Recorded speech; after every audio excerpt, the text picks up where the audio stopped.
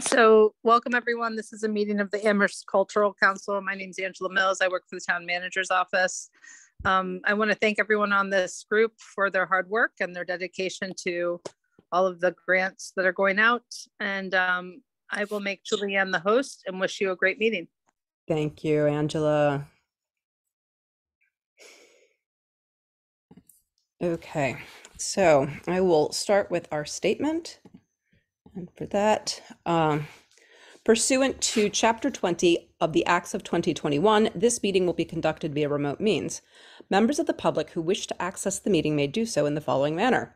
On the, uh, via, via Zoom, which is posted on the town website.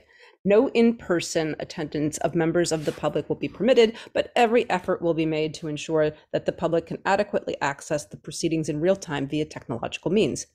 In the event that we are unable to do so for reasons of economic hardship and despite best efforts, we will post the uh, video of this uh, Zoom on the town website, amherstma.gov, uh, and an audio or video recording, transcript, or other comprehensive record of the proceedings as soon as possible after the meeting. So now I will move to our roll call. And uh, Rachel, I'm here. excellent. Robin, you have to, I have to hear your audio, Robin. Yeah. Thank you. Eleanor, Here. Christy, Here. Matt, Here. Excellent. All right, so uh, the goal this evening, and thank you all for being here. Um, really appreciate it. Uh, we're we're in in good shape. We've been doing well with our time boxed approach. So the immediate goal is to take care of the initial um, review of the remaining grants. Uh, we do need to go back to Gallery A3 which I think we'll do um, at the end because we have Christy now. So we'll go through all of the others. And um, from this, you know, as we've been going along in our discussions, we've been noting where, you know, we feel that we um, have people who are meeting our guidelines, have others who are, you know, we have concerns or that simply don't. Um, so we have pretty good clarity on on all of that. And uh, we've been noting down kind of the amount of, of grant that was discussed, and we're keeping a running tally. So, as Matt shared in a little more detail during our last meeting, um, where we'll go from tonight is he and I will work on all of the information that we have, and um, between now and Wednesday, we will, you know, basically get a balanced budget in and be able to share that with each of you, not to be discussed until the meeting Wednesday. And then from there, uh, we can we can fine tune and uh, ideally be able to come to a, a vote on the on the collective whole of everything. So does anyone have any questions about that? We could just When you say collective whole, Julianne, do you mean that, um, so that the numbers still add up in the end based on Yeah. individual? Okay, The numbers need to add up, and frankly, if we had to take a vote for every grant that we had, it would take so much time to do the roll call. So we, we really need to try to, to vote on the, the collective whole um, at, at once, rather than bringing each to a vote. Okay. So uh, if there are no other questions, then I need to figure out in my document where I am. Okay, and pick up where we left off. Uh, and just real quick, any other questions? Are we ready to go? Okay, and Rachel, do you do you have my uh my timekeeping again, please? oh, you can't see my phone, okay, but here it is. Well, Okay. And that's that's something just for all of you. I'm not I'm I'm not really looking at at you. I'm all over the place trying to pull these details together. So especially if someone could watch, you know, uh, uh, participants, if if there are any attendees, I don't think we've had any so far for any of the deliberation meetings, but I wouldn't be able to see if someone joined, even though I'm the host. So, um, and don't don't hesitate to holler if if you are if I'm not seeing you wave or something to get my attention. All right. So the next grant is um, being presented by uh, the Downtown Amherst Foundation. And uh, it will occur over several dates in 2023. And uh, it will be performed at the at the Drake. It's a multi-event collaboration with Amherst Regional High School um, and their community, and it is free to the public. Um, they uh, are asking us for $2,500 and expect to serve about 1,000 uh, community members. Collectively, um, we scored this as I have to get to my place here as well. Uh, as a 2.57, so uh, it was definitely a, a strong proposal. And uh, so this organization, um, they've secured space at the Drake for several dates, and they are collaborating with uh, the arts department. Yes. Yes. Did somebody? Okay, I'll keep going then. Hi, Cody. Um, Hi. so where was I? Um, Thank you. So there are, they will have two cabaret nights in, in January, two jazz evenings in the spring, and a fundraiser for the orchestra, along with several other evenings that are in the pipeline.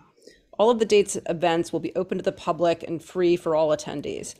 Um, to operate at any given event, the Drake costs about uh, $1,200 for production needs, staff, and general overhead. And they're happy to work with the public high school um, to highlight the incredible talent of our students. Um, but they're saying if it's a, but it is a fiscal loss to, to the organization. So they, they needed us to consider a grant to help mitigate those costs and allow them to do more free programming uh, with the schools and, and the community. So basically, uh, the the plan is to to bring in Amherst students, music students, and give them a, a venue to perform several different kinds of music, and also uh, to to have additional outreach by doing some some fundraising, I guess, to offset these costs and maybe even raise more. So, is there anyone who'd like to champion this event? Um, I I like to champion it. Great.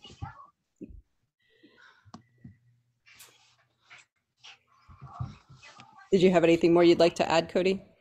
And this been. I know this was my favorite application just due to the fact that they want to expose the youth to outside venue and not the same old auditorium gym. It's good to have that outside exposure. I couldn't agree more. I think it's I think it's fantastic. I think there's no substitute for live performance, and the Drake also is is a it's a community um, venue, right? And yet, because many of the events have been paid events, I don't know how accessible it's really truly been to everyone in the community. And I, I think it will bring a tremendous amount of community benefit. And frankly, I'd fund the entire thing if at all possible. Perhaps Yeah. prioritize it even beyond some other music events. At the same time, you know, the kids are learning, which is great. And we have some amazing high caliber musicians that we still want to bring to the community, you know, just because of the amazing talent that they bring. Um, so I don't know to the extent that we can, it's, it's, it is a large ask, but Mm. I just want to, um, yeah, I- I just want to support everything that's been said. Those are really great points about the program. Uh, also, that the Drake last last year, in its first year in, in existence, um, was an incredible supporter for a lot of our grantees as they came in and um, they were basically had free use of the space with like almost no overhead costs. So um, it is a nonprofit organization, you know, downtown in the town, but um, they've been operating at pretty significant loss on a lot of their performing stuff. So I think whatever we can do to support them as an organization, as well as, you know, as Cody said, it's a really great learning environment for um, the student musicians and artists. I'd be comfortable putting it at the 2,500, knowing that that's, that's going to be hard for us to do. Um, But I'd, I'd like to see, you know, if there are other things that, you know, we look at and maybe, maybe adjust instead, and unless, is everyone comfortable with taking that approach? Yeah. Do you have your hand up, Christy? Yes. I- Ec- Excellent. We're all good? Thank you.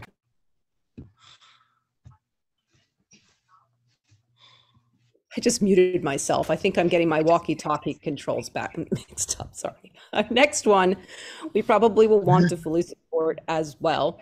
Uh, This is um, the Emily Dickinson Museum um, and their Amherst Area Community Day. It's um, held annually, so this will be this, uh, I guess it was this uh, Saturday, uh, December 10th, so it has happened. And they are, their entire budget is $2,500 and they're asking us for the 2,500. It was at the Emily Dickinson Museum. They expected to serve 250 people. Um, and overall, we rated this as um, a 2.36. Uh, they did, uh, one person has commented noting that the second floor is not accessible. Um, but they, they might be adding elevators or ramps. And, and to that, I, I haven't reviewed their recent uh, renovation plans, so I don't know if anything's changed with this. So the overview is that this is uh, an annual honor that celebrates Dickinson's birthday in December and celebrates the life and works of, of Emily Dickinson with special programming. So now, after two years of closure and only having online program, they were delighted to welcome local community back in person uh, for an open house and to reestablish this event. Uh, offerings and were to include guided access to the new restored spaces, new information about uh, Dickinson and her family's role in 19th century Amherst, as well as on-site activities for visitors of all ages. The, the museum uh, re- also recently finished a reinterpretation to include greater emphasis on acknowledgement, on acknowledging the family's prosperity and privilege, uh, the domestic uh, labor staff for the family, uh, understood, and themes related to health, uh, to the health and disability, uh, particularly in reference to Dickinson's mother. So, did anyone happen to attend this event? I didn't attend, Julian, excuse me, but I did one of their um um tours in preparation for it. Um, Mhm. and I think I can vouch for the content that that you've just described. Um, so yeah, so that that's all covered in the tour. Excellent. I did not include uh, attend this event in particular. And just to kind of get an idea of the budget, it, um, they, they wanted to help underwrite the admission fees, which were generally $16 per adult, as well as special um, day of program activities such as music performance, crafts, etc. Um, I wish, kind of wish they maybe spoke to that more. But uh, I'm sure they did a great job. That's an interesting way of presenting it, right? Because if you're doing a um opening event, it's then it's like the admission even relevant, or is it just gonna be? Mm. You see what I mean, if if if you're asking that que- question in particular, but I- I don't know. Yeah, I, Um, I don't know that the budget is really truly accurate as far as I think the event budget was a lot larger than two thousand five hundred. Um, so I, I think they, they could have done a better job with detailing, you know, what the day included and, and the budget, but I don't know that this is something we would, you know, for this organization hold, you know, against.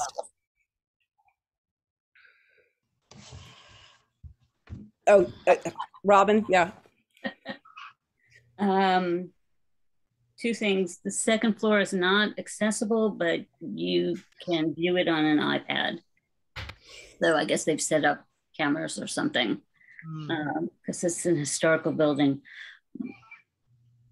My, and it probably doesn't isn't relevant because there's budget lines, but the museum has a lot of money, and the college has a lot of money, and yet the council is offsetting some of that. And I guess I have some issues with that. But at the same time, Mm.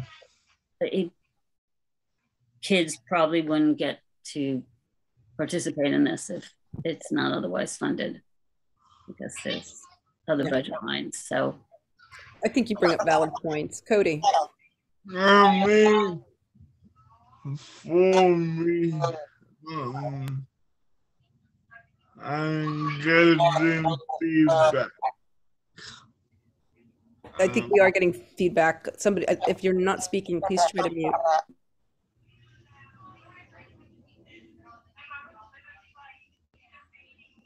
Um, uh, yeah, accessibility is a huge issue. Like, I know this isn't a place, but if you have tons of money, why wouldn't you be ADA compliant? But that's not the conversation, but I would say maybe a portal since you know they do have money, but yeah, as you said, the community wouldn't be able to participate if it wasn't funded. Well, Cody, I do think that accessibility is what what we're talking about, and I think bringing up that you know the museum does have a lot of funding along with Amherst College, and uh, my my question is, I would I would assume that as far as the first floor, it's considered ADA compliant. Is that that correct? And um, as to you know why they haven't made the second floor accessible you know i i guess i need to understand ada law better um, about general access to get into a building but not you know full access. Um, We're- We're at time, just so you know, but go ahead with, No, I would just quickly go say I'm curious about that because I thought I knew, but I guess not. so so perhaps the question too is um, as far as the actual event you know was it mainly on the first floor? You know if if the this particular event occurred in an area that was accessible then then i don't think that there's any any con- concern here about the guidelines. Right. so we might need to to ask that. So since we're at time i will you muted. Thank you i i need help with that i truly do because this walkie talkie thing i'm trying to be very um, uh, aware of this feedback uh, okay so um, the next grant is uh, So do we have a conclusion on that one? Sorry, we, we don't we have to come back Okay. to it got it. Uh, that this is why I didn't start the last two at the end of the last meeting with three minutes. No. So the uh, Nolumbeka project uh, is uh, their grant is for their 10th annual. Um, oh, I was going to say potluck, which is wrong. Um, how do you say this? Po- Pokumtuk? Pocumtuck. Pokumtuk, thank you. Homelands Festival. Uh, that will occur August 5th and 6th, uh, hopefully in 2023, not 2003, at Unity Park in Turners Fall, Massachusetts. Uh, it's got a rather large budget of almost uh, $34,000, and they're asking uh, us for 500 towards that. They expect to serve 6,000 people. And uh, collectively, we scored this very high as a 2.93. And the comments here are that it's a very small ask, and another person said Turner's Falls. Um, before going into this, I do think this is one of these um, events that that is uh, does have, you know, regional nexus, right? So, uh, the Pocumtuck Homelands Festival, it's uplifting and educational festival, honors the heritage and continued presence of tribal nations of the Northeast, and it's returning for the tenth year. Um, it uh, takes place at a site historically and culturally important to the indigenous people from the region. Um, it take it was a place where the tribes gathered annually uh, during fish runs, and it was also a site of a massacre in seven, 1676 and a reconciliation ceremony in 2004. So for thousands of years, the area um, of and around Great Falls was a place where all were welcome. And um, as they exchange gifts, ideas, uh, and goodwill today, uh, we're committing to a future that will continue the exchange of actions to promote understanding about and between cultures, increase mutual uh, vigilance and historic for historic preservation, and deepen our appreciation for the rich heritage of the indigenous people of our region. Um, it will continue as a this uh, the tradition of an annual gathering um, as they did historically. So um, I will say that I'd, I'd like to champion fully funding this. And, you know, if the only objection was that it was in Turner's Falls, I think their reasoning that this uh, is is on a historic site for the indigenous people. Um, there, there are probably some reasons they might not feel great about coming to Amherst. So uh, I'd much rather they be there. Um, would anyone else like to to speak to this or any questions? Yes, Cody. Yeah, outside of this, the some typos because I know one of the people the people are not Mohican, but small typo is really great festival. I probably will be way better. I encourage fully funding it also go. It's a great festival. Thank you, Cody. Yes, I, I, my sense is probably everyone agrees about fully funding this. Uh, is is there anyone who who feels differently?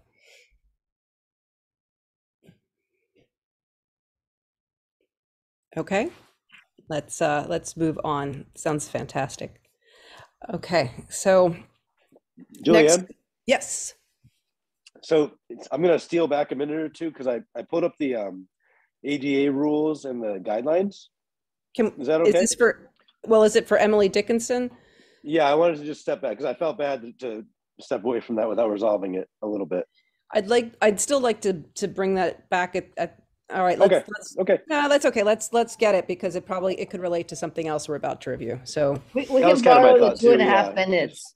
okay, yeah. that's right. I Thank just you. re- real quick and and you know and thank you for um, Thanks for humoring looking me. it up. Yeah, I, I just I, I felt bad because we this comes up a lot frequently. Um, so let me just read very briefly. This is the top of page ten of the um, local cultural council guidelines. Uh, non-discrimination. LCCs may not discriminate against applicants or programs on the basis of age, ability, ethnicity, race, religion, sexual orientation, gender identity expression, nationality, geographic origin, immigration, military, socioeconomic status. but then this is the part that um, I think we want to hone in on. The Americans with Disabilities Act requires that persons with disabilities have access to public programs or services on an equal basis with the rest of the public. Federal law mandates that any program or service that receives federal or state funding must be accessible to persons with disabilities, and there must be reasonable, accom- this is underlined, reasonable accommodations made to provide an accessible environment. Um, all events and programs funded by the LCC must, by LCCs, must consider access for persons with disabilities, including facility or event location, as well as the content of the program.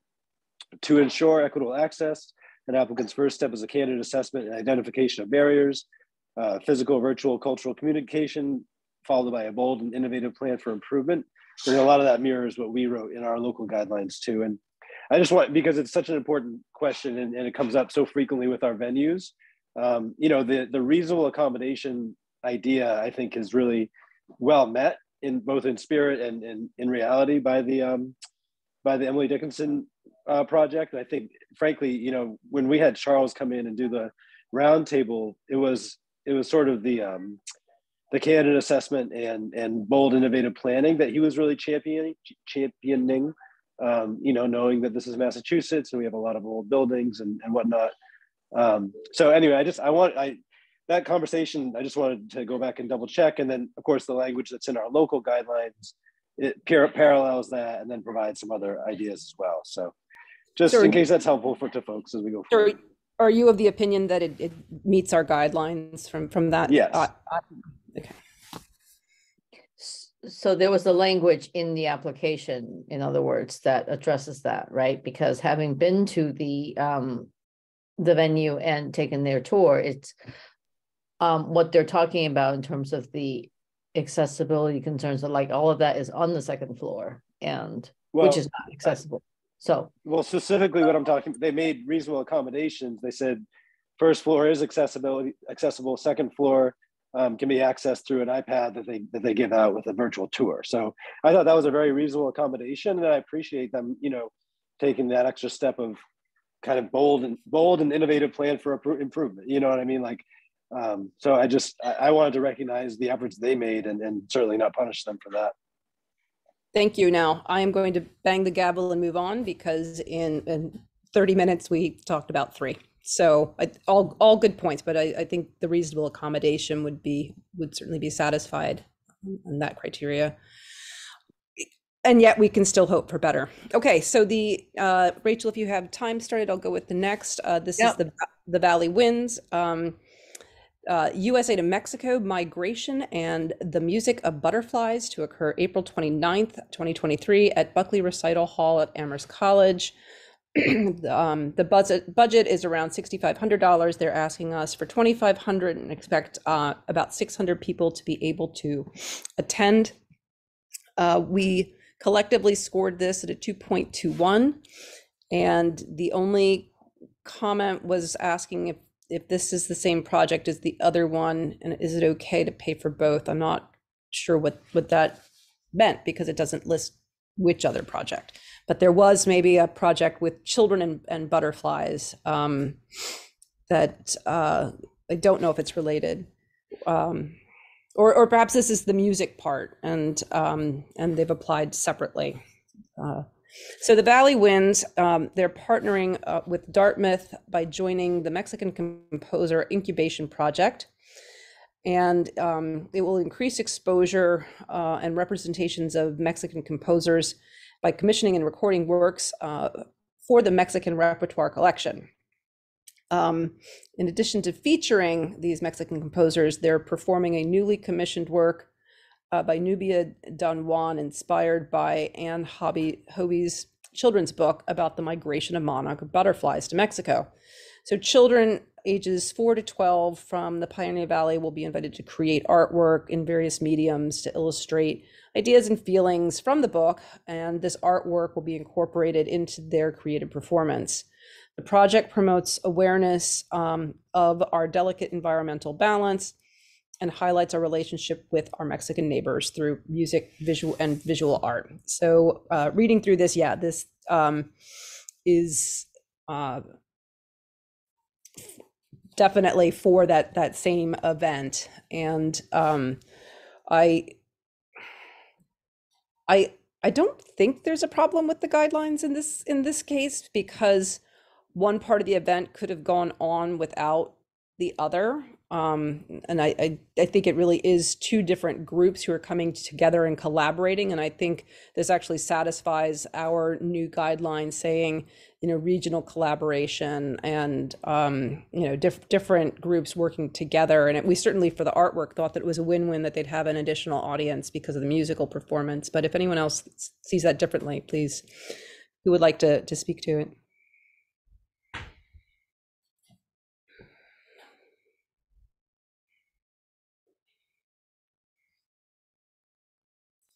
I think I put in my notes that the children's art component was not very clear um in terms of how that was going to be implemented, but I think you already you already mentioned that, Julianne. Uh, yeah, but I think when we discussed the, the children's art, um, you know, it was participatory art, right? And and that combining it with the music and bringing it to life that way and getting it a bigger audience seemed to be, you know, as far as um, you know, value to the community, um, was only in, increasing, you know, for all parties involved. Um, it, it seems to me like a big ask for this. I also, I found some of the line items in the budget a little, um, questionable. I mean, they're having it at Amherst College. They need to pay to rent a projector. Why is that? I mean, if they're, if Amherst is hosting them, Amherst has projectors everywhere. Um, I I think it's a fine project. I would I would do f- somewhere around 50% support on this. Um, I think this is another case of the Amherst College, Amherst partnership, um, where I sometimes feel like Amherst College doesn't hold up their end of this. And I would support part of it, but not all. Yeah, I, I am at the same time here looking back at the multi arts group and and their companion um, application where you know they were asking for eight hundred and fifty dollars. So if you look at the total budget, both for the art and the music, is getting to be really you know quite quite large. I mean, we we can handle them separately. Um, did they not, I, I, we should look, did they list any kind of in-kind donations that are coming in, or was it very much having to, to pay everything at um, Amherst College? So the space rental for the rehearsal is five hundred eighty-five, and for the concert venue is, is seven hundred, which as far as space rental is not, you know, particularly expensive. Um, does anyone understand how, how that works over at Amherst College? Um, people coming in? And I'm also curious if we had a letter of support specifically like um, from Amherst College about it. I'm sorry, I don't understand that. I wish I could speak to that, but I'm sorry, what did I, where did I confuse you?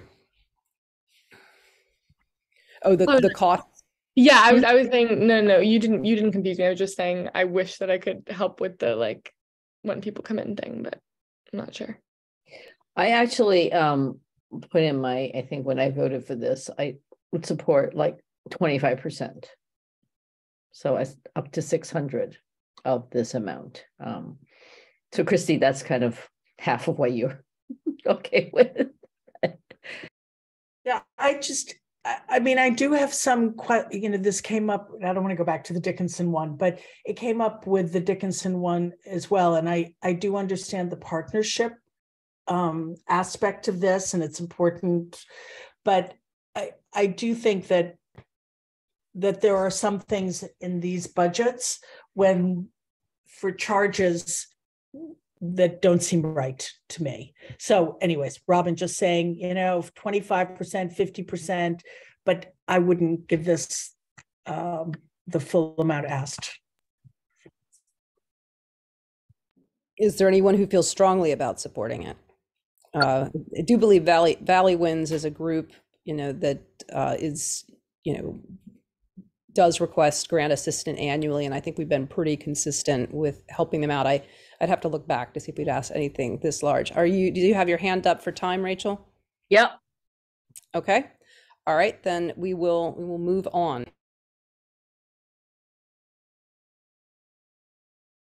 You're muted, Julia. I don't know. Thank you. Okay, so we'll we'll move on then, and I I won't I won't put a number down for this one just at the moment. Um, okay, so.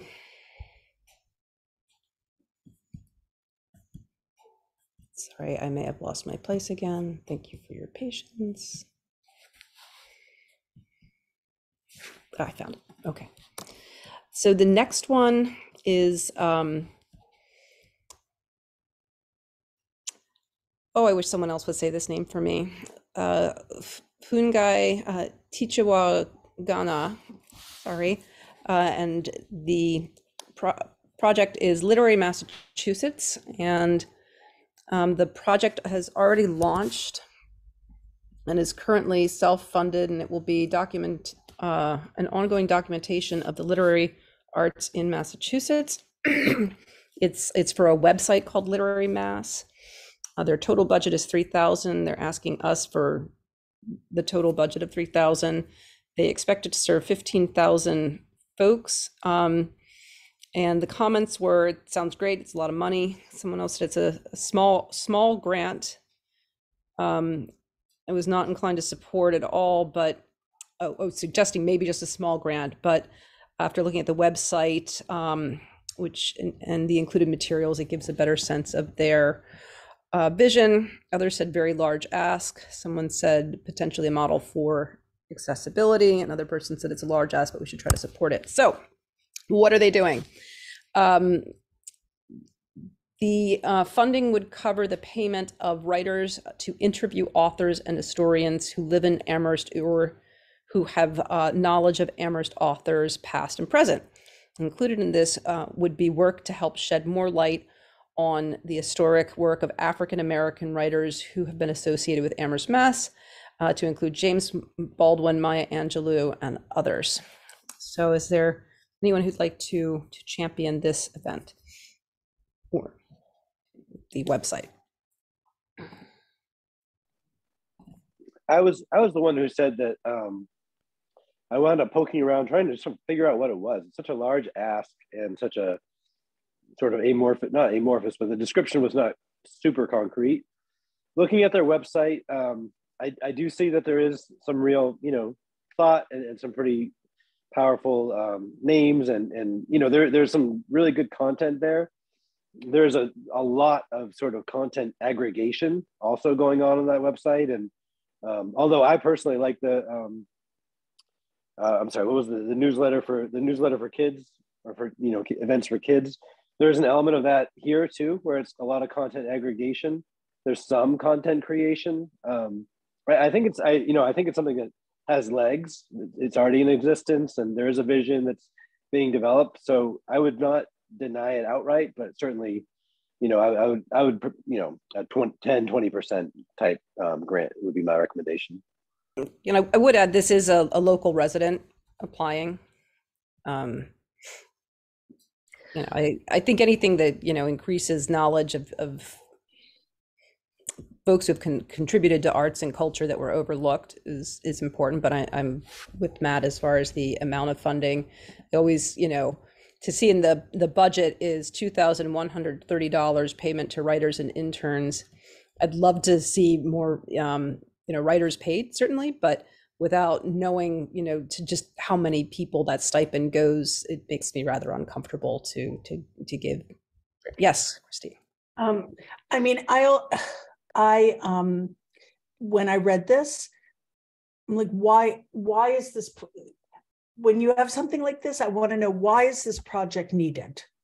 Who, what, what is, you know, all of the, the, um, the writers that they have in so far are hardly, are completely known authors. I mean, it's not, um, new research into its it- just so that worried me. Like why you know who's the audience for this? Is it to tell people that amherst is an academic town or a town of writers and historians? I don't think that's really a, a huge need in the town.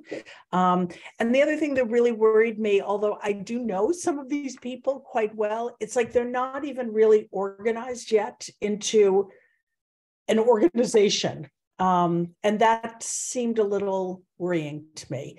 10%, 15%, as Matt said, I'd be fine with. But I think there's just, um, I have too many other concerns with it. Thank you. Uh, Cody? So really two comments. One, you know, look, it, it sounds uh, we may need to request a charge in why people do what they do to avoid confusion. Also, yeah, I support a low funded amount at 10 to 15 percent. Thank you. Thank you. Yeah, Matt, as far as, you know, I, I have not had the time to go and review their, their website, you know, is, is $300 meaningful from what you looked at there? And as far as, you know, their answer, you know, was that they are also looking for other grants to apply for regionally and nationally.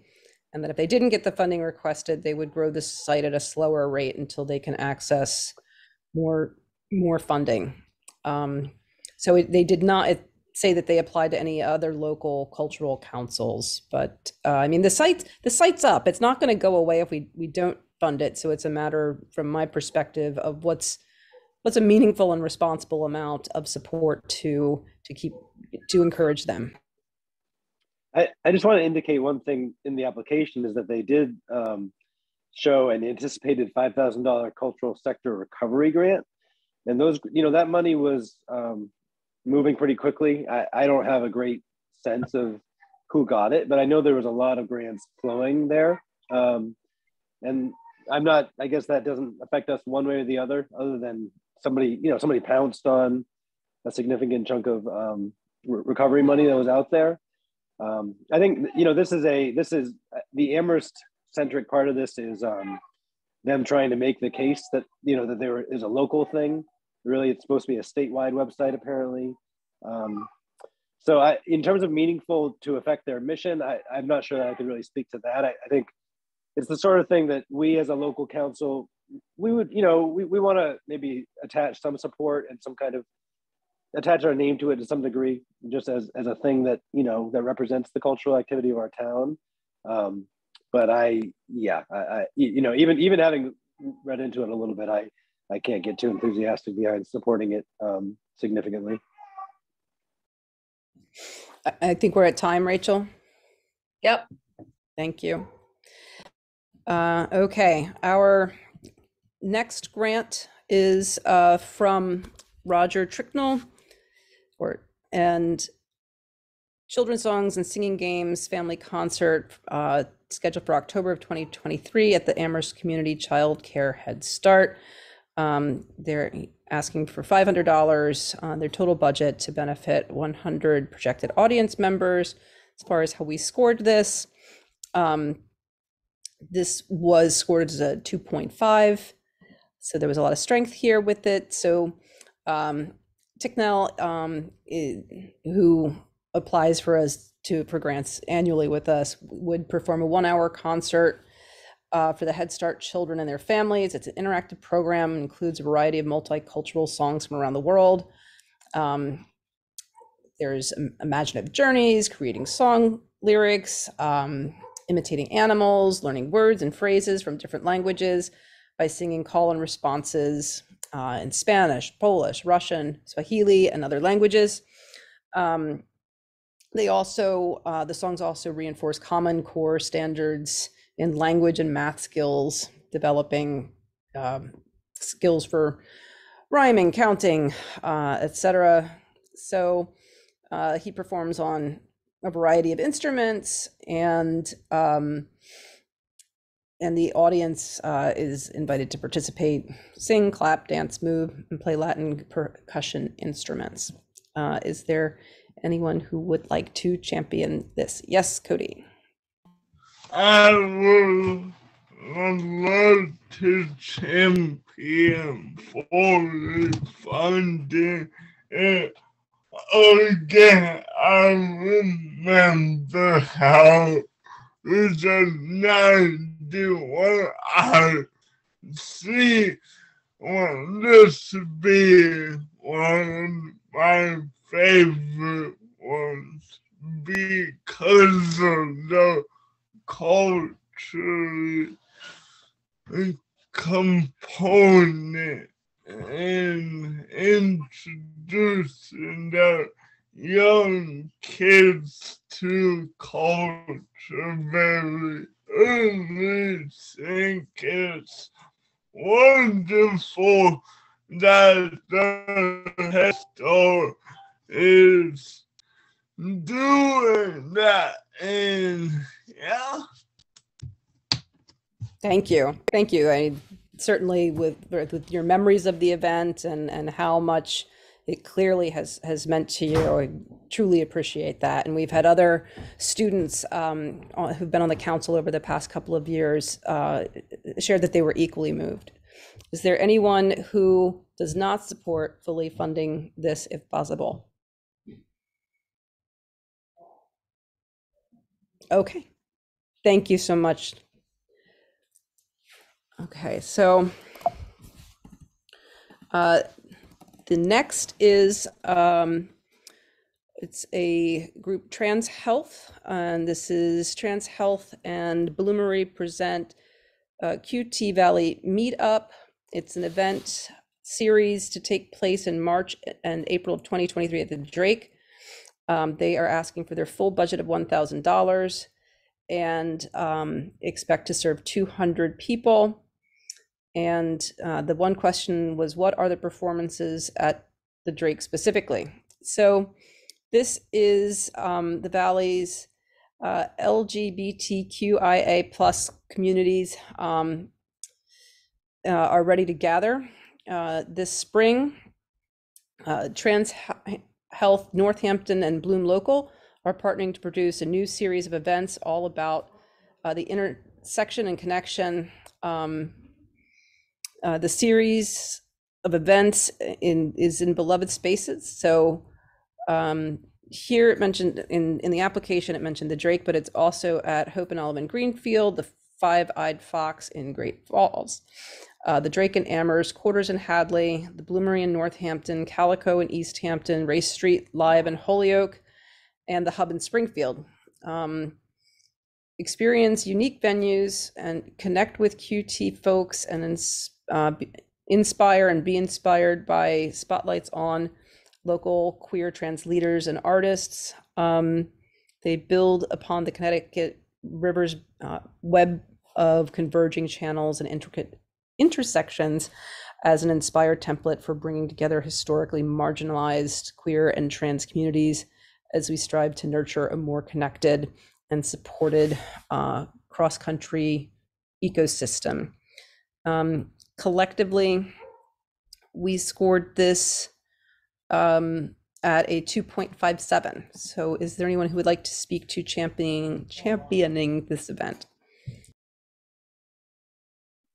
I would champion this event. Um, I think that it's great that it's specifically for queer and trans people.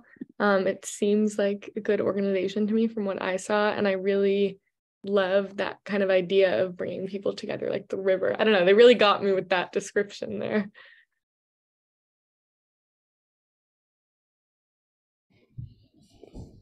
Any other comments?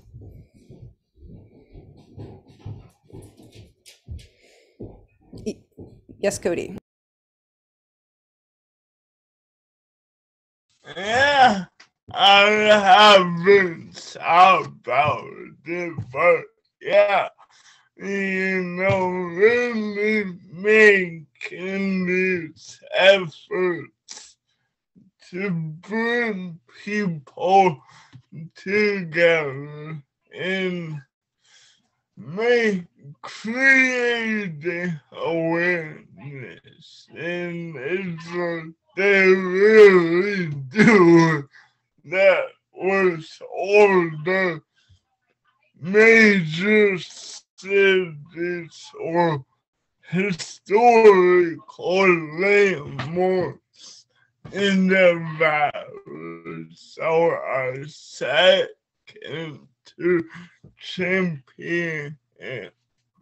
Thank you. Thank you. And I, as, as we're talking through this, I want to share that the thousand dollars that they're asking for, as far as it being their entire budget, seems to be specific to the Drake because it's a five hundred dollar artist fee for performance at the Drake, and uh, another two hundred dollars for AL ASL uh, interp- interpreter, and also um, the uh, Bloom Local who who's doing promotional design and marketing. So uh, it's a much larger um, series of events, really.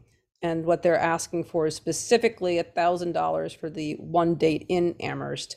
My only reservation then is it's a thousand dollars for for one date, but I, I think we have strong support for it. Matt, were you about to say something? Rachel, I see your hands up. Matt, Matt, do you want to go ahead? No, I no, was- go ahead.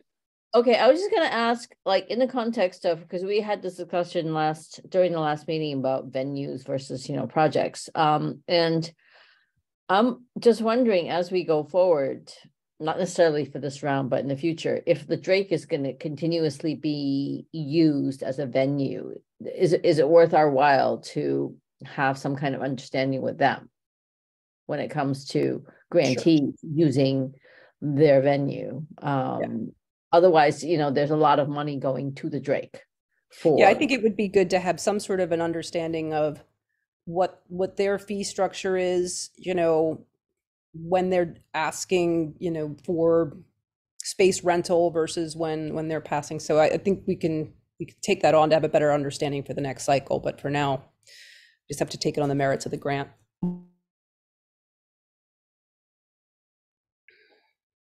Any other comments? Yes. I'm I'll I'll ask this. I'm not um opposed to parties, but I I am curious. I mean, I, I think parties are cultural happenings, and I think you know that meetups are are happenings, but I'm not. I I guess I'm not hundred percent seeing the where is the sort of arts and culture component of this meetup. I was missing that a little too, but specifically, they're they're looking for, a five hundred dollar stipend for the artist to perform at the Drake and for someone to do sign language interpretation of that performance and and two hundred for the marketing for people to come to that performance. So if we really kind of step back from the whole larger thing that they're describing, there is an artist that's performing for for the community and I and it's open and accessible to the public. Um, my only other question was was there any kind of a is it a totally free event or does do people have to pay to get in?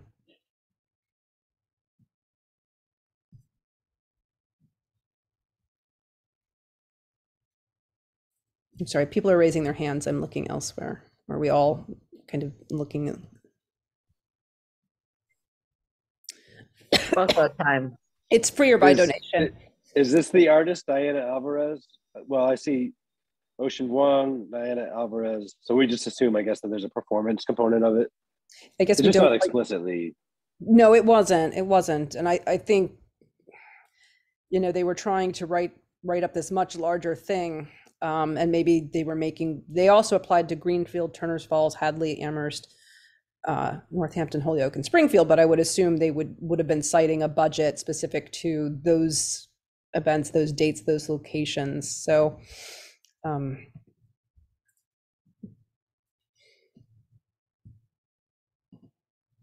I guess it, it it's a little challenging. I think we all want to support it, but it doesn't necessarily meet our guidelines without having a specific date, you know, at at the Drake. Um, does anyone have concerns about it not meeting our guidelines because of that? Yes, Rachel. And No, I'm only raising my hand for time. yeah, we're at time. Are we all confident this this could be within guidelines? Okay. I mean, one quick comment, and that's a good point. Are we really funding the Drake or Green Tea? Because if it's the Drake, then the app should be two hundred, not eight thousand. Well, I think it is realistic that the Drake is, you know, losing money when they have to, to staff and have a totally free event, and that that's, you know, not not sound either. I, I I'm not concerned in this case that we're just funding the the Drake. I think this would be going to artists in the community. I think there is a performance component. Would we all be comfortable with kind of a, a high partial in, in the range of 750, or is that too high?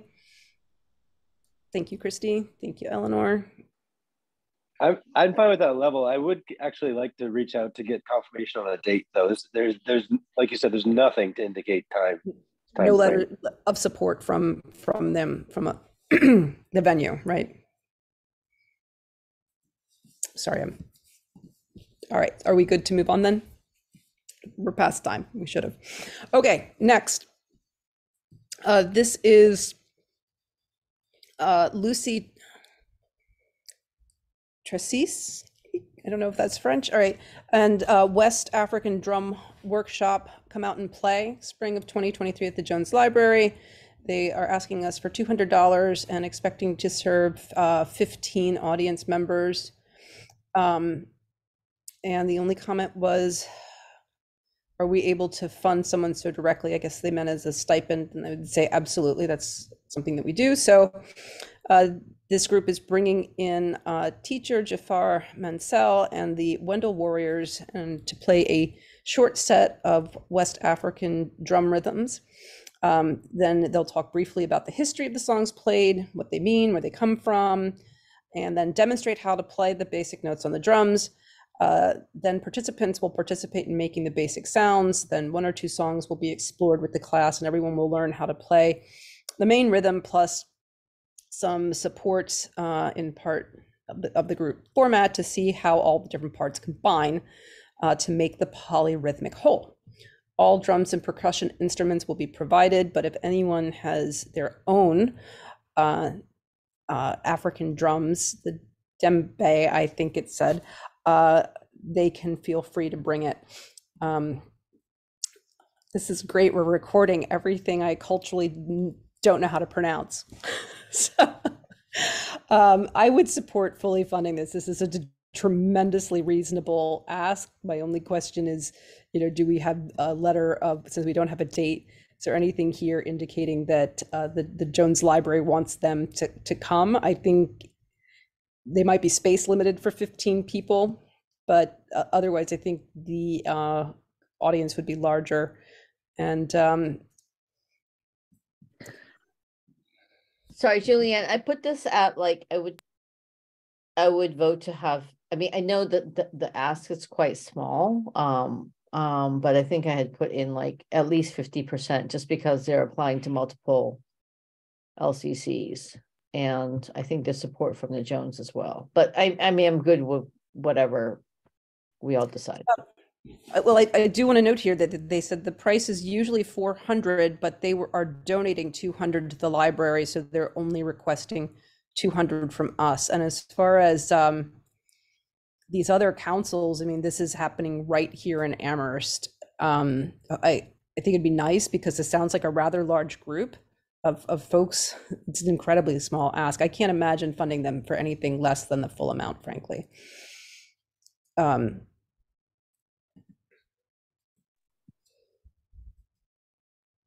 my only concern would Agreed.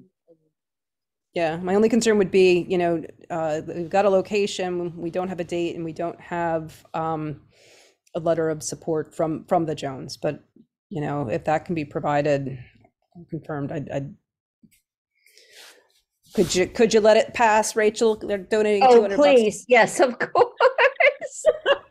Thank you. Sorry, I gotta come on camera now, just for that, like, exchange, of course. Thank you. Good to see you. All right, moving along. Uh, we have um, Valley Art Salon, and they would like to bring Valley, Valley Art Salon in Amherst sometime in spring of 2023. They would like to um, host uh, this to be at the UMass uh, University Museum of Contemporary Art, and they're asking us for $400 to serve 150 folks. Um, one person asked if it could be more open to a public audience. Another person said they're charging uh, $5 for tickets. So, uh, Art Salon is a dynamic social evening of engaging presentations by emerging artists in Pioneer Valley. It's been going on since 2013. Uh, they've presented in over 10 different communities in the Pioneer Valley, and it provides opportunities for a diverse range of artists to present their work and ideas in a format called PechaKucha. Um, and I we've talked about that before, so I'll keep going. Um, after the brief presentations that are about six minutes long, there's an informal Q and A. And um, in 2023, it will be in four communities, uh, and uh, featuring Amherst uh, area artists and creators, and it's a true cross-disciplinary community building event and um, yeah, it reflects the diversity and richness and liveliness of the arts in in the valley. Um, is there anyone who would like to to speak to this event?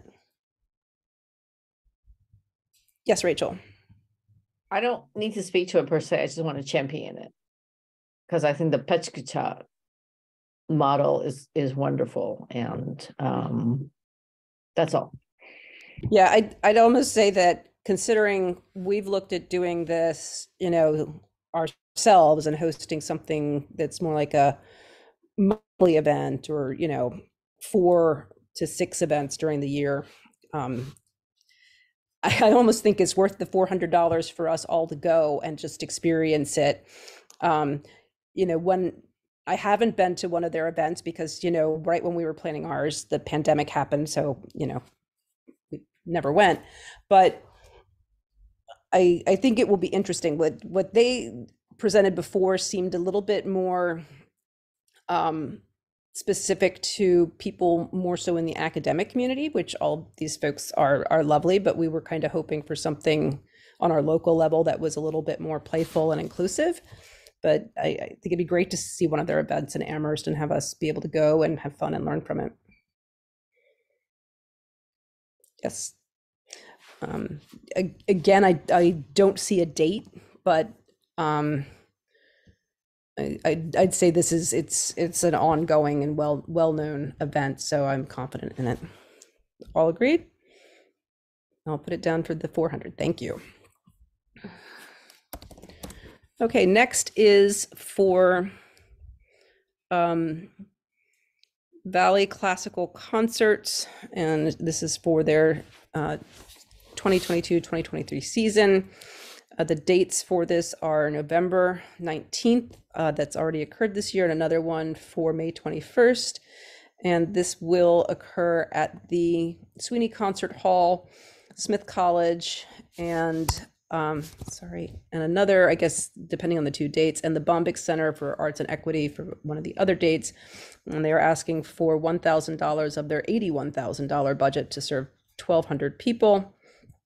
Uh, collectively, excuse me, we scored this as a 1.64.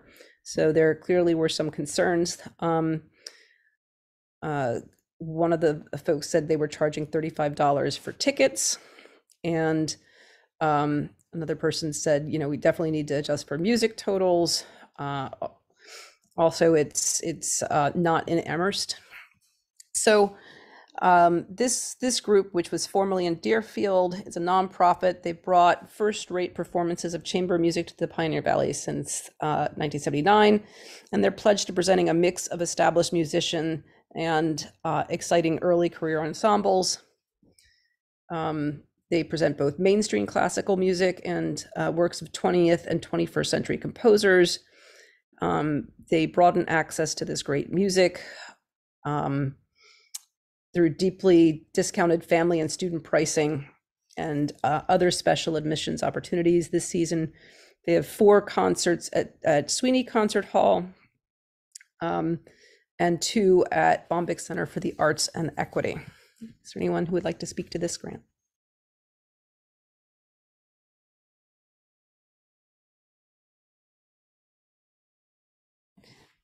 I don't know if I'm just rushing through things. I'll I'll speak to it as far as they're asking us for a thousand dollars out of an eighty-one thousand dollar event that I'm sure is quality, but it's not happening in Amherst. And um, I, I do think that sure, some some folks from our community will will go and participate, but we have a lot of music, and I I'd, I'd be okay with considering not funding this particular event. I, I think we should probably pencil it in as a low partial just because we're, you know, I think we're going to be going back through and adjusting for classical and chamber music down. And um, I think I don't see a lot of enthusiasm for the for the grant, but I also don't think that we should penalize it for being one of the last four that we review. I said I might be doing that, but you know, I, I also would say that um, as far as music that would that happens here i think when we'll we'll do a sort to look at music specifically and um we'll revisit this uh, on on wednesday as part of our balanced budget. Um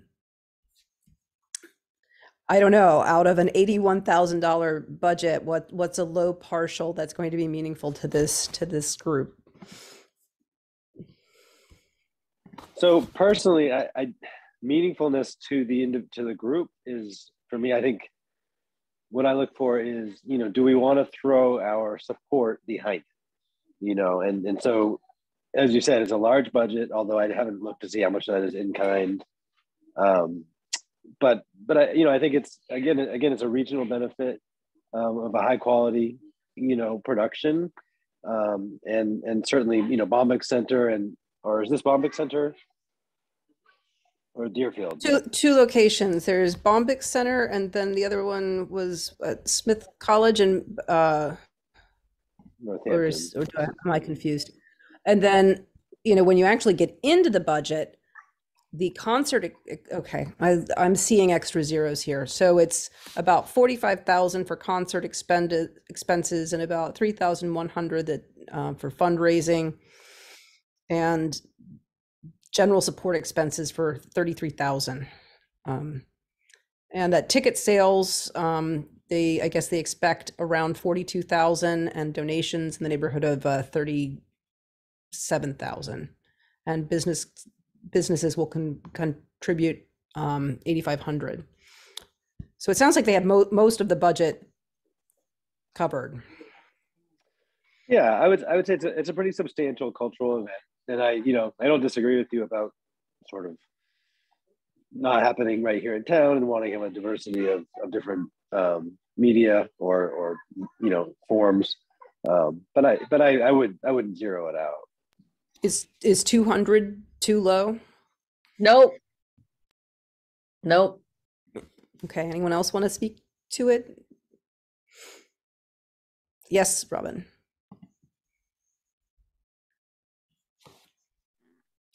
I can't hear you. Um, their projected income is more than their budget. And they only apply to Northampton and Amherst, apparently. So I don't even know why they sent, they applied to us. See, I think that's where I was going with it. Yeah. Um, if we want to say yes, we're part of the Greater Valley, you know, and we want to, you know, be part of that and support it.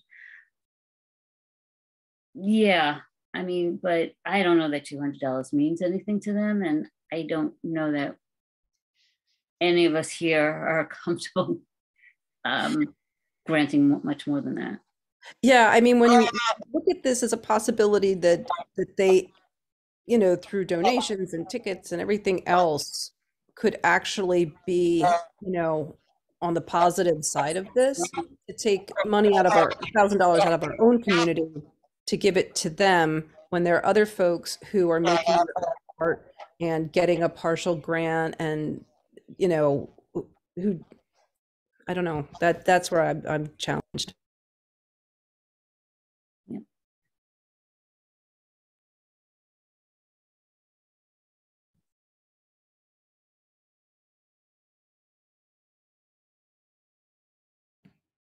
Matt, did you have uh, any addition, additional comments? I mean, I, I can leave it at two hundred, but I think by the time we get to the, to the voting meeting, you know, we might, it might be like, oh, how can we take money away from that, that performance group? You know, we only have two hundred over there, but you know, we get into these, these situations where we really do have to provide the, the most benefit, and this, this would go on, so I, I can leave the two hundred there and then see what makes sense. I don't think it's a good idea to zero it out. I just, I- you know, I, when we zero things out, then we put ourselves open to reconsideration meetings. Uh, We're gonna be hard pressed to say that, you know, classical music that we're, that we're funding in, you know, um, Belchertown is more culturally vital than, than this in Northampton. I, I mean, I hear, you know, I think you're making, you're all making valid points. I just would caution against zeroing it out. All right, let's let's leave it there, and you know, and we definitely are looking at music again, so uh, we'll consider it then. Thank you. Okay, so with that, um, I have our our next application for Lori Wall. She has chair yoga, dance movement, and breath work for all. Uh, this will be at the Bangs Community Center, which I think is synonymous with the Amherst Senior Center. Um, she's requesting uh, $5,000, which is the total budget to serve 1,000 people. Uh, Collectively, we scored this um, as, as a 1.57. Um, So, so with this, um, it's, uh, the questions were, uh, one person said it sounds like a commercial venue, uh, $5,000 ask and many classes. Uh, what about quality? Is there quality here? And quantity? It, it seems, it seems like this person is, is basically looking for a job for the year.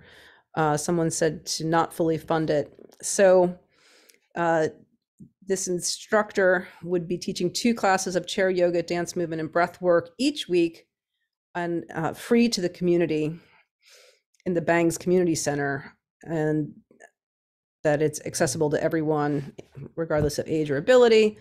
Um, and that um, seniors and members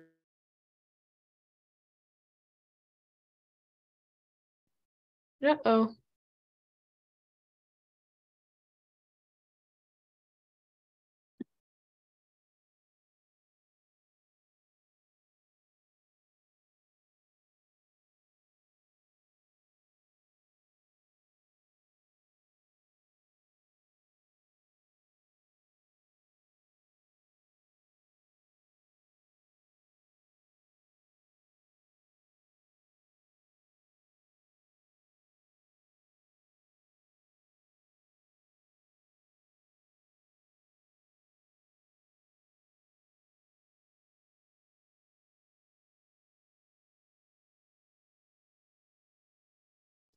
Did, did we lose Julianne? Yes, I think we did. Oh, geez. Yeah. Can anybody pick up where she left off? I was, I was indisposed. Okay, she said she's plugging in her laptop. Um, Okay. and Discuss amongst yourselves. were we on? Were we still on the yoga, the dance Yes. yoga? Yeah, she was reading the description. Um, I can speak. The senior center does offer this class. They offer many of them. I have no idea how well it's attended. Um, two classes a week for 50 weeks a year. That is a lot. Um, I have no idea how many people don't go because they can't afford it, which she doesn't document. Um, but they do offer it. Each of their newsletters mentions it. So it does seem to be an ongoing class. And, Where does that sit in terms of public benefit, though? um, well, is does it come under the cultural council's purview, really? Um, There's also an asked payment for folks coming to the class. um, It's, she asks seven to 10 sliding scale from, for, from participants. Um, and if we were to do the, at $2,500 of the grant, she would drop the cost to participate from three to five. Um, uh, I. I str- I don't know what, what said, and I'm sorry that my uh, connection dropped, but um, I, I, s- I struggle to consider, um, you know, any, anything that's this, this large of an ask, truly. Um, so, Not to mention the nature of what it is. yeah, what? Well, it's, I mean, I think chair yoga is, and I, I don't know if it's tongue in cheek or not. She says that the bangs, the chair, and the space are provided. So the chairs are provided. So that's an in-kind contribution. I, I see a. I do see a public benefit, um, but I'm not sure that it's necessarily arts and culture. no, it seems to be more, more fitness, and I don't see a, truly an art and culture benefit in there other than yoga, but I don't think we're speaking to the cultural heritage of yoga or anything like that. And uh, I- I really don't think it's, it's truly within our guidelines in this case. Agreed. I agree. Yeah, Thank you. Okay, thank you. All right, so um, next we have um, Sam Wank, um, outerwear, Which Way is the Wind? It's music. It's uh, set here to be any between August and November of 2023 in a to be determined outdoor space in Amherst. Uh, They're asking for $2,200, which is their total budget, and hope to serve 2,000 people. Um, Before getting into this, at this point with, with no date and no venue, um, I, I don't believe that it meets our guidelines. Uh, If there's anyone who feels strongly that it does, uh, other, otherwise, I think we should move on. Just one second, I'm Before not we move too quickly, I the only Thank you. reason I, I feel like I read that it- you know it was the very end, so so I double check myself. It it's an installation, and so is there absolutely no sense of where this installation? Because you know with an installation, the date is not is not so. But is there no sense of where it's going to be done? Not, not that I, I know of. Um,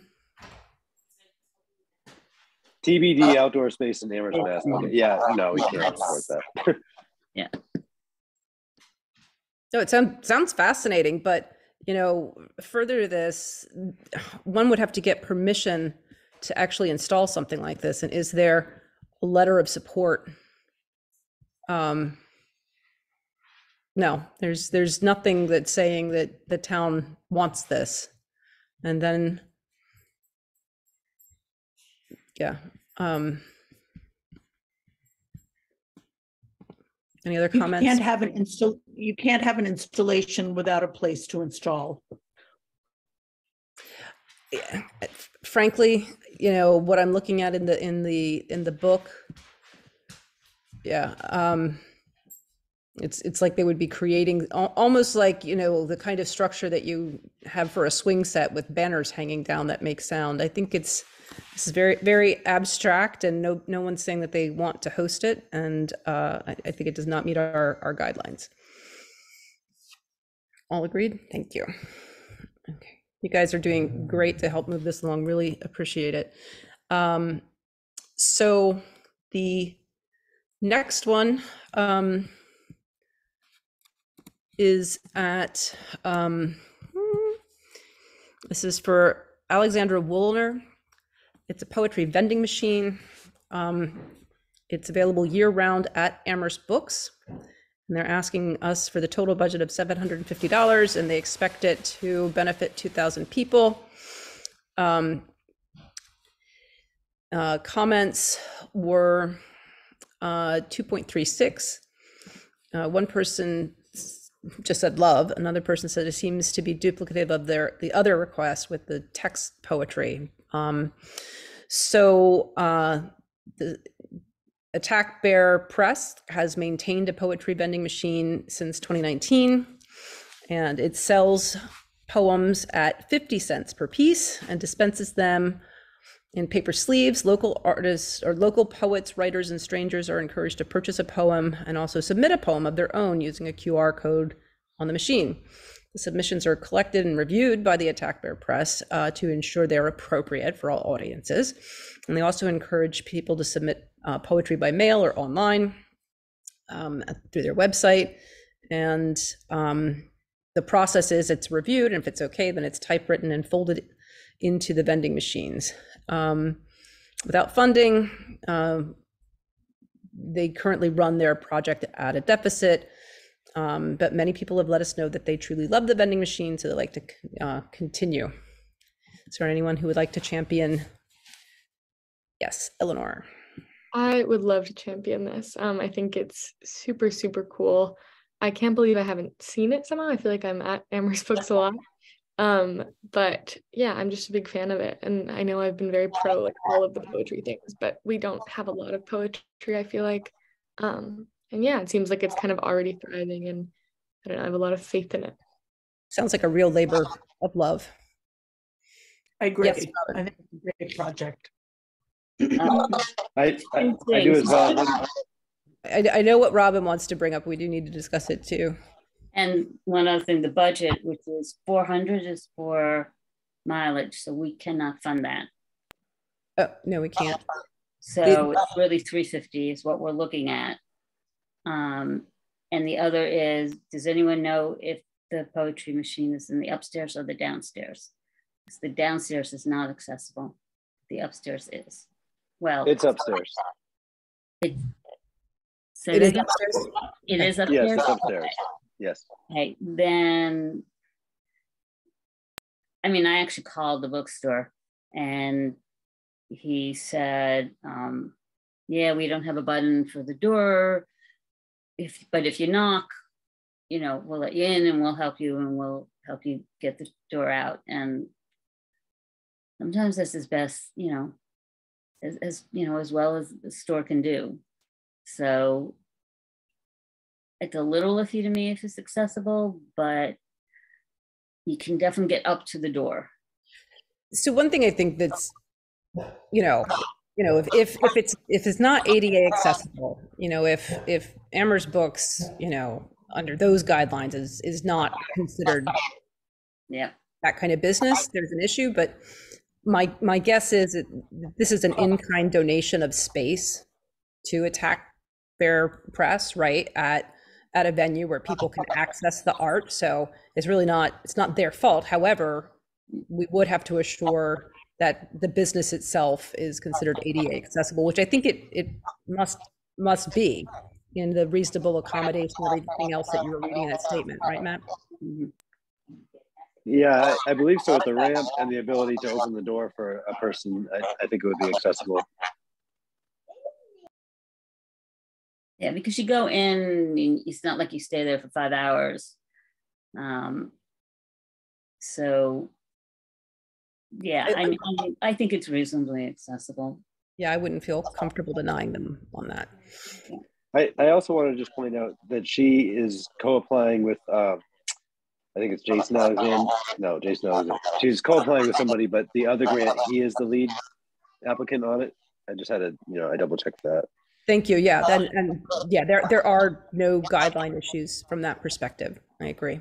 I just wanted, I- I'm putting it down for the 350 because Robin's right, we can't um, support mileage. So on, on- it's, it's a shame because my, my guess is this is a real labor of love and that um, just the amount of time to read uh, and curate this and then to type on a typewriter and the expenses for the paper, like I think all of the expenses are there, but um, we, we can't do the money for the mileage. I wanted to do a time check. We've got two minutes left. Uh, we have not deliberated gallery A3, and there are several that um, from today certainly that we would um, benefit from going back to. Um, well, I hate to ask it after a long day for everyone. Is it is it possible for any folks to stay on longer tonight? Thank you, Robin. Um, I can't. I'm sorry. I've got something. It's right at seven thirty. You are entitled. I Thank you, Christine. can't No, Cody can't. Yeah. Okay. I so- can I can. I can stay five minutes, but I don't know if that would be really even worthwhile. To, Okay, so that, uh, Rachel, I just, it- can you stay at all or no? Yep, I can stay. Okay, so let's, let's keep going for, for the moment because, um, that, that will help us and So, th- Can I thank ask you. a question? I'm sorry. I'm, I'm in the local council guidelines, page 11. Restrictions, grant funds cannot be used to purchase food or beverage. Scholarships cannot be used Travel. for a scholarship program. Where is the mileage piece? Travel, we can't use it for travel. Where is that though? I don't see it. Don't, you know, I haven't looked to validate that, but, uh, I guess that's something that we, we've been saying for some time. Did it, did it change? Is it part of our local as opposed to regional or the, or the MCC? No, it's not local. I'll, um, I'll look for it tomorrow. I, no, I stand corrected. It's, it is local. Travel will not be reimbursed. Okay, Yep. sorry. Okay. Too mean, we bad. would Never have reimbursed it. Okay. So, All right. Thank you for, for confirm- confirming that. Uh, In the interest of time, and I want to go back to um, the Gallery A3, which we couldn't have had Christy here for anyway, because she has been recusing herself for this. Um, You'll have to give it, okay, here it is. So Gallery A3. um, This is their art and community, which runs uh, pretty much all of 2023. And uh, these events are at Gallery A3, 28 Amity Street. Um, They are asking us for $6,520, which is their entire budget, and expect to serve 1,000 people. Um, Comments here were, love Gallery A3, but it's a lot of money. Um, Another person said it's a vital community resource. Uh, The funding request is very high. Um, Someone else said a very large ask and um, low number is not about the quality, um, but the ask is too much. As, as I recall, it's also there. The amounts that they've been asking for over the years are, are they're on an exponential trajectory at this point. I think they used to ask. I don't if I look back, might have been a thousand and, and getting to six thousand five hundred which is more than 10% of the MCC's allocation to us, is simply not going to work, in my opinion. So let me see what I can share. It is a year-long event with three components. Uh, they'll continue with the monthly members exhibitions and Zoom forums, uh, which cover a wide range of topics. And um, then they'll have a second post-pandemic juried show. Um, they'll be working in 2023 on a collaboration with Art for the Soul Gallery in Springfield to take place in 2024. Uh, this continues Gallery A3's 2022 initiative, included monthly forums, an invitational with five African American artists curated by Terry uh, and the return of the juried show. And there's a draft in the final reports in supplement. Um, so Daniel Kojosh uh, from Hampshire College was uh, one was their juror and is bringing new perspectives uh, and and verve to the event, selecting artists from as far as field as Nantucket. uh, because of the pandemic, we've had uh, a lot of our forums by Zoom, which has increased the audience by two to three fold over in-person audiences. I have to say, having just stumbled through that with apologies to whomever I pronounced incorrectly, I don't get a, a real sense of w- what this would be specifically, you know, f- from their description. Um, would, would definitely need to, to, to read the budget, knowing that we can't service anywhere near uh, that full budget. Is there anyone who'd like to speak to this? I'll just weigh in briefly on my thoughts on A3 and Amherst Cinema and some of the larger orgs. I, I think they do a nice job, some years more than others, of representing projects, when in reality, you know, we kind of just represent um, one of a diverse source of funds for these organizations. So I think, you know, we, we should fund them um, as much as we see as responsible. And I personally don't think too much about the, you know, the the layout of the project that they're they're, they're applying for. I just look at it as sort of one of, you know, like a funding source for them. Yeah, I- I think I'm in line with you there. I think they do, you know, bring a tremendous benefit to the community and, and I mean, they really put out every effort possible during the pandemic and, and their reach has grown. Um, You know, as, as far as the work they're doing for 2024, I think that's outside of our, our current, you know, 2023 grant cycle. I don't really think we can do that for them. So uh, I'd, I'd be curious to go back to past years and, and see what the award was. And I think, it, you know, would make sense to, you know, continue to hopefully be able to support them at, at a level consistent with a, a prior year. Yeah, I mean, along those lines, um, when you, Julian, and Matt as co-chairs kind of figure out the overall budget, um, that would be really useful to to bear that in mind because I feel like you all are already very much um, clued into okay, how do we want to weigh um, these organizations and their requests um, against the other asks by the by the um applicants. So I think no, no, I think that uh, I'm I'm quite confident in both of your judgments in balancing those. Mhm. Having heard what you're Thank- saying about these. Thank you. And I, I stand corrected on one, one piece here, which was that last year, um, I'm looking at that grant and they did ask us for, uh, six thousand two hundred sixty-five and we granted them, Twenty-five hundred? Hmm? Twenty-five hundred. Yeah, 25. so, uh, yeah, um, Robin, you had comments. Just that we, last year we gave them twenty-five hundred and I thought they had asked us for about six thousand as well. So, and the year before, It's much lower. I think we might have given them quite a bit, but We- they we haven't gave- asked this much. We gave them quite a bit because in that year, we really prioritized, um, especially during the pandemic, uh, trying to, to fully grant uh, Amherst Right. located uh, groups. Yeah, sorry. I'm so sorry to interrupt. I just have to run off now. Thank Um, you. That, that, that's been really helpful for us to get here. Um, And we will be in touch in advance of the meeting for Wednesday. We have at least reviewed all of the grants. So I think we're in, in decent shape. So thank you all for your service. Bye, Eleanor. Bye. Can I just, can I just add one more thing before we all sign off, which is that I, um, given Wait, fact- no, I don't think you can add, I think this is too close to deliberation. Is it potentially deliberation? Because I'm also still recording. That's fine, but you can, yeah, go ahead and record, but what I was just gonna say is that, um. The Mass Cultural Council has added all these other categories.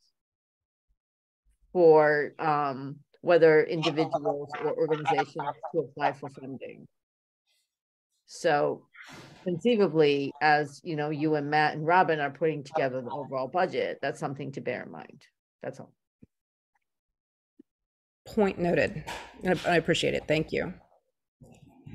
Okay, with, with that, I will motion to adjourn. Thank you all. Thank you, Julianne. Thank you, Bye, thank Julianne. you. Here. So Bye. Night. Wednesday, okay.